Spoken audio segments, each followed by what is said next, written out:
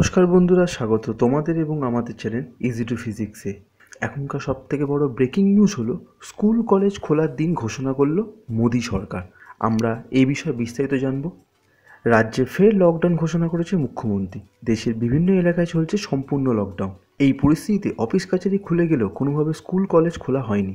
দেশের বিভিন্ন মুখ্যমন্ত্রী রাজ্যে এবছরের সমস্ত পরীক্ষাগুলি বাতিল করা ঘোষণা করেছে। কিন্তু কলেজ বিশ্ববিদ্যালয়ের চূড়ান্ত সেমিস্টার পরীক্ষার ব্যাপারে কেন্দ্রীয় মানব সম্পদ উন্নয়ন মন্ত্রী রমেশ পোখরিয়ালের নির্দেশে ইউজিসি একটা গাইডলাইন প্রস্তুত করেছেন।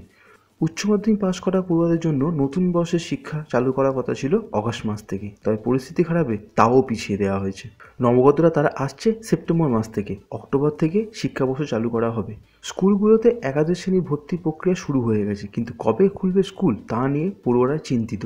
ইতিমধ্যে স্কুলের সিলেবাস তিরিশ পার্সেন্ট কমিয়ে দেওয়া হয়েছে। কেন্দ্রীয় মানব সম্পদ উন্নয়ন মন্ত্রী রাজ্যগুলোকে চিঠি দিয়ে স্কুল, কলেজে খোলার ব্যাপারে শিক্ষক, অভিভাবকদের সাথে পরামর্শ করার নির্দেশ দিয়েছে। ইতিমধ্যে স্কুল, কলেজে খোলা নিয়ে রাজ্য থেকে এবং শিক্ষক, অভিভাবকদের পরামর্শ পৌঁছে গেছে কেন্দ্রে। মানব সম্পদ উন্নয়ন মন্ত্রী রমেশ পোখরিয়াল একটি বেসরকারি সংবাদ মাধ্যমে জানিয়েছেন, কেন্দ্রীয় সরকার অক্টোবরের পরে স্কুল খোলার সিদ্ধান্ত নিয়েছে।